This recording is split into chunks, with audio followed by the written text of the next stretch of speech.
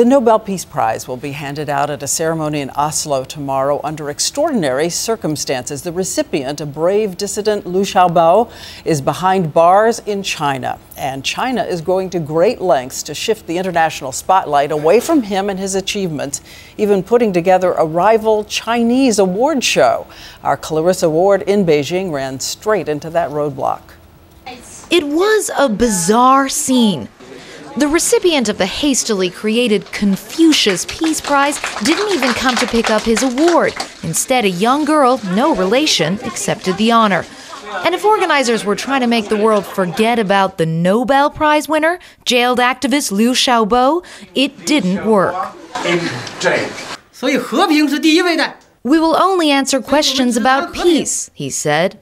China has fought a campaign to push back against Liu and the Nobel Prize, describing the award as an anti China farce supported by clowns.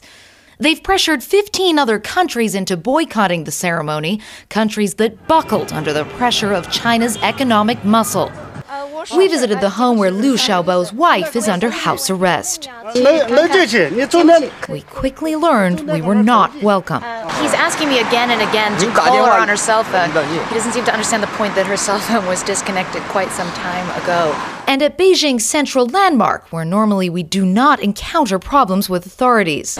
So we are here in Tiananmen Square, which is the very place where Liu Xiaobo first angered Chinese authorities during pro-democracy protests some 20 years ago. We're being approached here by some policemen to my left. 你好。你好，您那机子先停一下。我们举脚。我知道，您那机子先停一下。 Tomorrow, despite the resistance and heavy hand of China, the Nobel Prize will be awarded. And in a prison cell in frigid northeast China, Liu Xiaobo will have his honor.